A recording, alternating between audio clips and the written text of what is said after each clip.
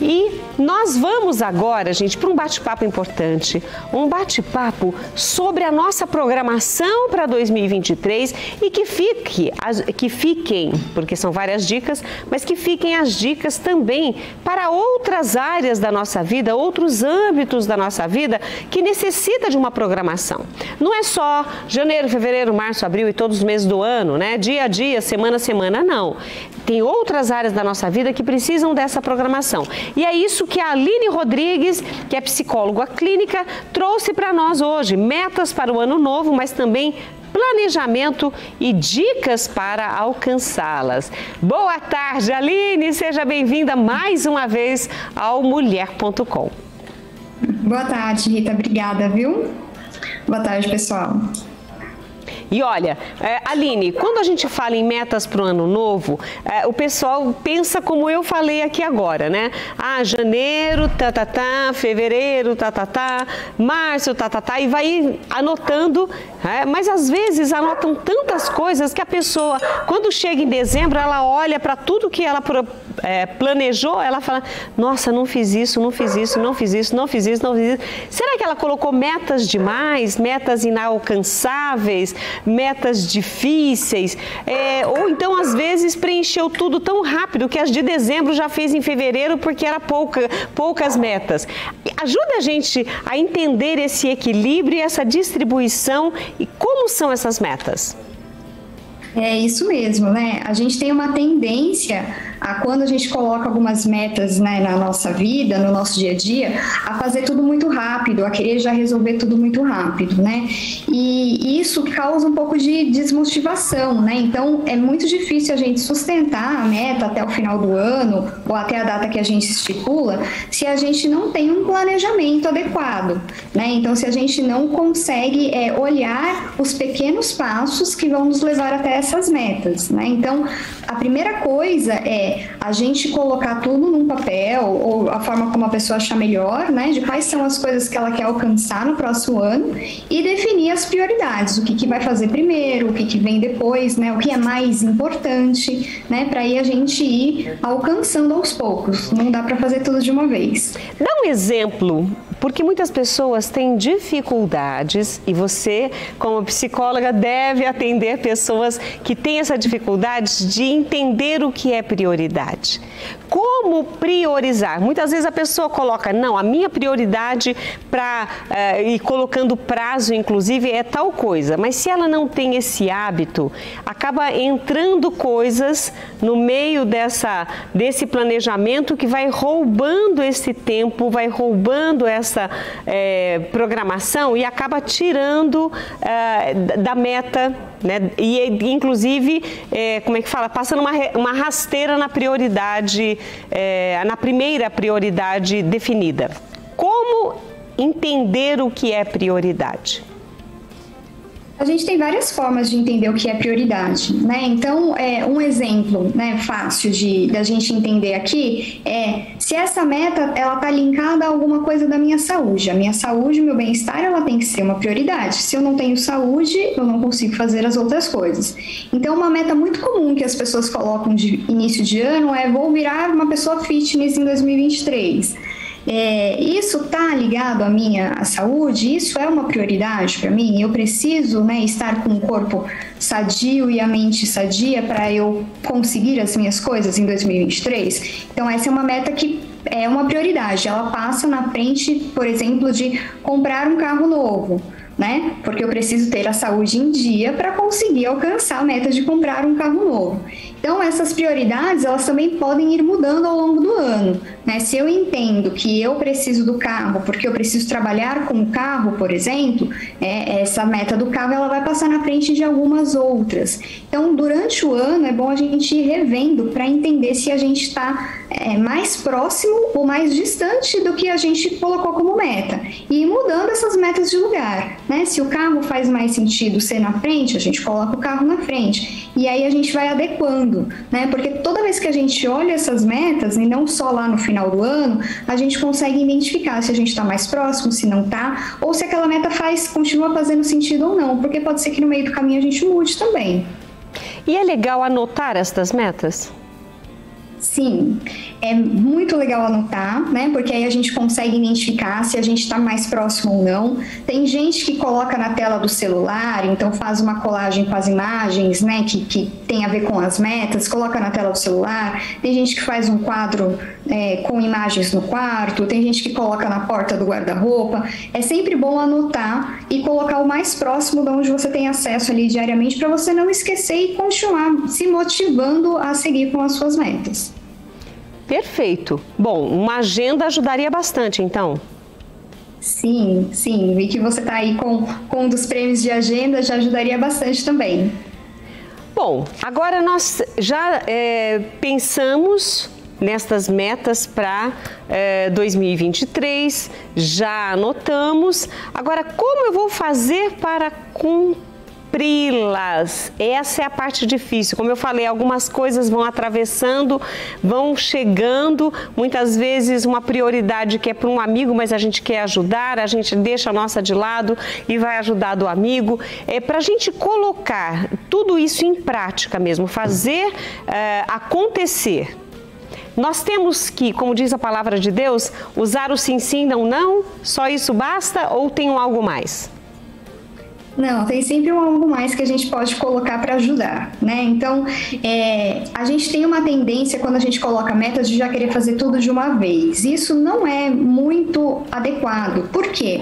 Porque a gente não consegue sustentar. Por exemplo, de novo, a meta que eu trouxe que é um pouco mais simples, quero ser fitness. Para eu ser fitness, eu preciso entender dentro dessa meta o que, que eu preciso de pequenos passos. Então, dividir a meta que é maior em pequenos passos ajuda a gente a manter a constância. É, então eu preciso ir para academia, eu preciso é, comer melhor, né? E aí eu vou pegando essas pequenas metas e vou colocando elas no meu dia a dia. Né? Então, e não é tudo de uma vez, né? A partir de amanhã eu paro de tomar refrigerante, eu só vou comer verdura, eu vou para academia todos os dias. Não, vamos fazendo aos poucos porque o nosso corpo ele precisa se habituar. É, até ontem eu não estava né, com essa meta de ser fitness, então a gente precisa habituar o nosso dia a dia dentro dessa meta que a gente coloca. Então a gente começa indo na academia duas vezes na semana, depois de um tempo a gente aumenta para três e aí a gente vai, né, trazendo essa motivação, né, e essa constância, porque quando a gente coloca tudo de uma vez só, na primeira, na quinzena do, do, do mês, né, do ano, a gente já percebe que não é tão sustentável assim até o final do ano levar essas metas à frente. A gente sobrecarrega, né, o nosso corpo, a nossa mente e não alcança o objetivo. Como nós estamos ainda em 2022, já na expectativa de 2023, eu até sugeri nessa semana aqui no programa que as pessoas olhassem para o ano de 2022 e fizessem aí um levantamento do que ainda não foi produzido, mas estavam nas metas de 2022 e principalmente as vitórias, as coisas boas. Quantas coisas boas ah, nós vivemos neste ano de 2022? Você acha que essa análise análise, ela acaba levando algumas dessas metas, algumas podem ser riscadas e outras podem ser levadas para o novo ano, uma vez que não foram cumpridas ainda neste? Com certeza, Rita. É essa análise que a gente tem, né, essa tendência de fazer no final do ano ajuda muito, né? Porque ali a gente consegue identificar o que de fato foi cumprido, né? E eu gosto muito de trazer esse olhar do que foi cumprido. A gente tem uma tendência de olhar o que não deu certo.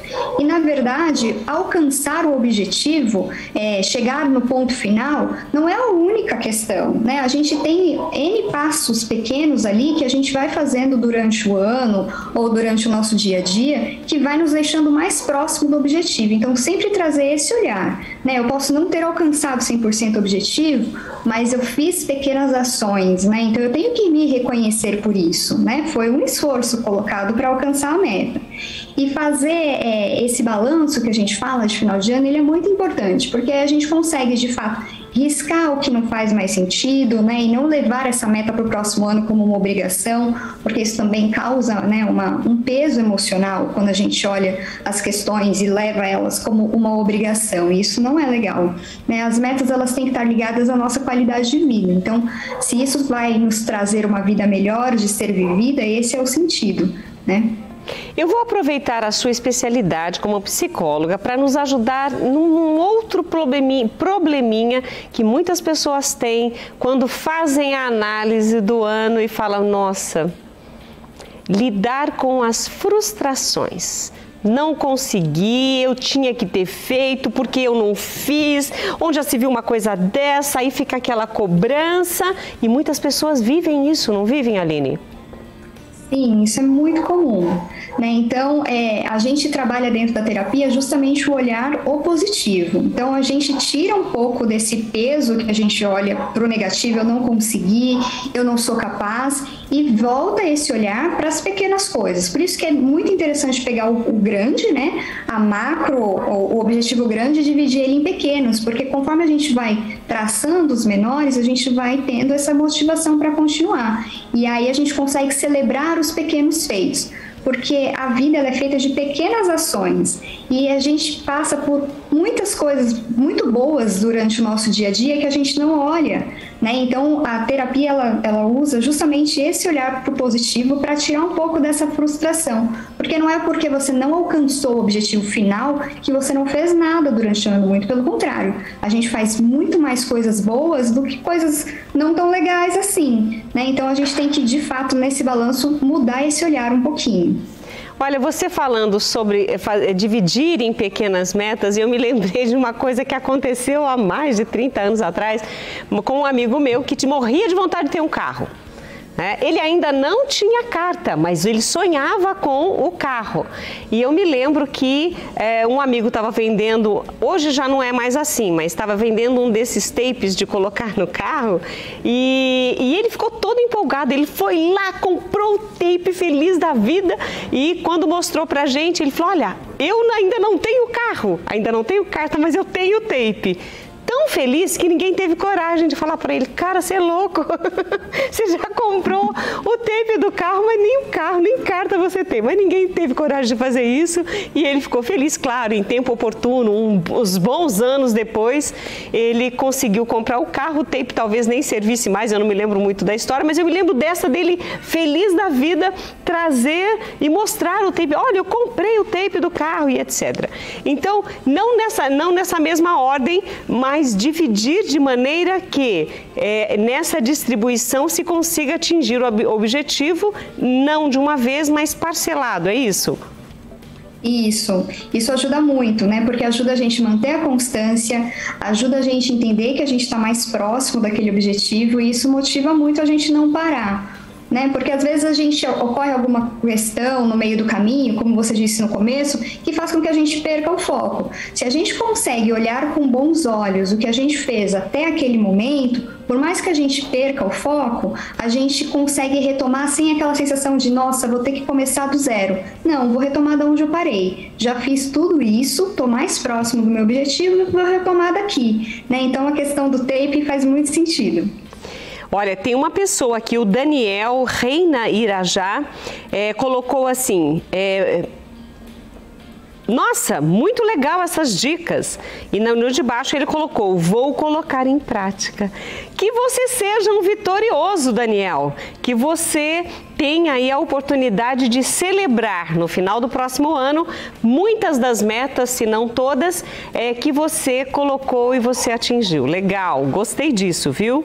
E eu estou muito feliz que a Bruna Machado Leone está assistindo a gente, porque ela colocou assim: eu fico muito feliz em poder assistir o programa há muitos anos. E ela está de licença maternidade. Ai, que delícia! Parabéns pela sua maternidade. E olha, se essa é uma meta para quem está assistindo, né? A maternidade, ou, ou um, um, carro, como falamos aqui, é, ou uma casa, né? Existem é, metas que são possíveis de você já começar a fazer a reserva, a se preparar.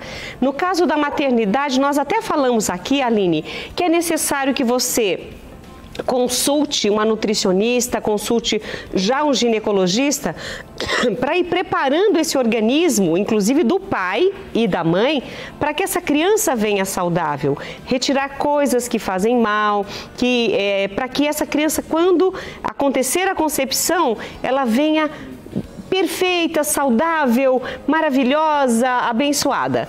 Então, é possível sim, mesmo sem a gravidez ainda, fazer, se, se essa for a meta, fazer esse parcelamento do que você falou das atitudes. Né? No caso de um carro, uma pessoa que gosta de sair e está sempre lá, hoje é sexta-feira, bora gastar dinheiro, mas tem a meta de um carro, ela vai ter que aprender também a poupar para esse. Então, a cada sexta-feira uma poupancinha para o carro. Quer dizer, isso também entra como é, parte das metas? Sim, isso entra como planejamento das metas, né? Então, é, e aí até estipular junto, né, com esse parcelamento das metas, estipular um tempo, né? Então, até tal dia eu preciso ter tanto em dinheiro né? E aí eu vou estar mais próximo do carro, né?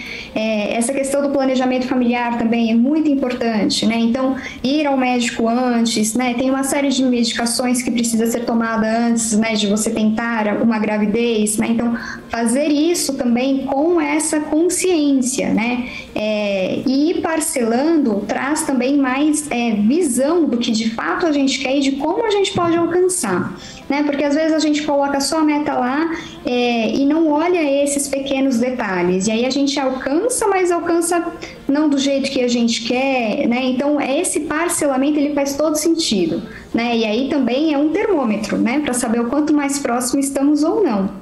Né? Então ajuda muito e serve para tudo, né? Não só para o início do ano, mas para qualquer momento que você queira colocar uma meta aí na sua vida. Aline, fazendo o fechamento do nosso tema, eu dou a palavra a você para fazer um resumão, dando dica a dica, porque a gente foi diluindo as dicas ao longo da nossa conversa. Vamos fazer um resumão dessas dicas? Como que as pessoas devem proceder então para fazer esse planejamento para 2023? Certo, então vamos lá. Primeiro a gente precisa identificar o que a gente quer. Então coloca ali num papel tudo que você quer para esse ano, né? Seja o que for, vai pondo ali no papel. Depois você vai identificar o que, que é mais prioridade, né? Então, o que, que você precisa fazer primeiro, né? O que está mais alinhado com as suas questões de necessidade, né? Desse próximo ano. E aí, depois que você coloca em prioridade, lista as prioridades, aí você vai trabalhar quais são os pequenos passos dentro dessa meta que você pode ir fazendo, né? Ao longo do ano para ficar mais próximo dela e atingir ela, né? É, e aí, ir olhando isso, habituando o corpo, né? Então, não começa a fazer tudo de uma vez, porque aí a tendência da gente não conseguir ir até o final é muito grande. Então, vamos fazendo aos pouquinhos. Primeiro mês, o que, que eu posso fazer para ir melhorando né, a minha habituação, para eu ficar ali consistente? Porque o 1% feito todos os dias chega no 100% no final do ano, né? E aí outra questão que é muito importante é, se algum dia, em algum momento, eu não conseguir realizar esse pequeno passo, eu volto, né, retomo ali o meu planejamento com aquele olhar de já fiz tudo isso, né, e agora eu tenho que terminar. E não com aquele olhar de, nossa, falhei e vou ter que começar do zero. Né? Então, essas pequenas atitudes, né, junto com o olhar positivo das coisas que a gente já fez, celebrando todas as pequenas conquistas, leva a gente a ter constância e conseguir alcançar mais rápido aí os nossos objetivos e as nossas metas. E olha, eu agradeço a sua participação conosco hoje, suas orientações, suas dicas e em nome da equipe do Mulher.com desejo a você um feliz 2023 com muitas realizações, porque eu tenho certeza que você já fez aí a sua lista de metas. Deus abençoe você. Muito obrigada, Rita. Para vocês também, um beijo, bom ano novo para todos. E sim, minha listinha está pronta aqui, pronta para começar o ano. Boa sorte! que delícia! Obrigada, tchau, tchau. Tchau.